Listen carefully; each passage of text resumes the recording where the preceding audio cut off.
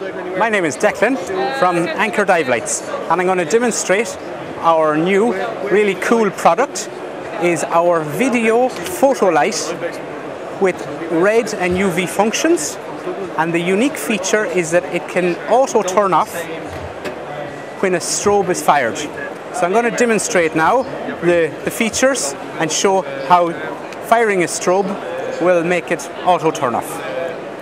So I'm going to turn on the light. So it's quite a bright 5000 lumen light with a 50% and a 25% setting. I hold it down for two seconds. It goes to the red mode. The red makes the fish look towards the camera. Octopus start to come out of their holes and it helps as a really good spotting light. Then when I give it a quick two button touch, I notice that it starts flashing green. That means that it's now ready to turn off automatically when I fire a strobe. Now back on again for two seconds. Okay, so I'll just demonstrate that one again. So I have a turn back, turn back on when I fire my strobe, nothing happens turn it on to the auto off mode. When I fire the strobe, goes off for two seconds and works as a really, really cool spotting light.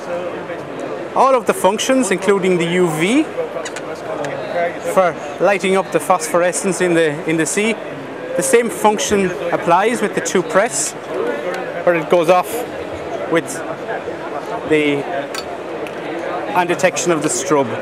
And finally, going back to the full light, double press. I see it's flashing off for two seconds. So basically it works as a really, really good spotting light and uh, we hope uh, we hope uh, every photographer out there will use them. Thank you. yes. Yes, thank you. Um, yeah, our website is Anchor Dive Lights, www.anchordivelights.com. Uh, orders at uh, anchordivelights.com or anchordivelights.com at gmail.com. And um, we have some uh, super product photography and we also have a new, a new catalogue. Drop by to stand 1044, our meters in London, um, next February. Thank you.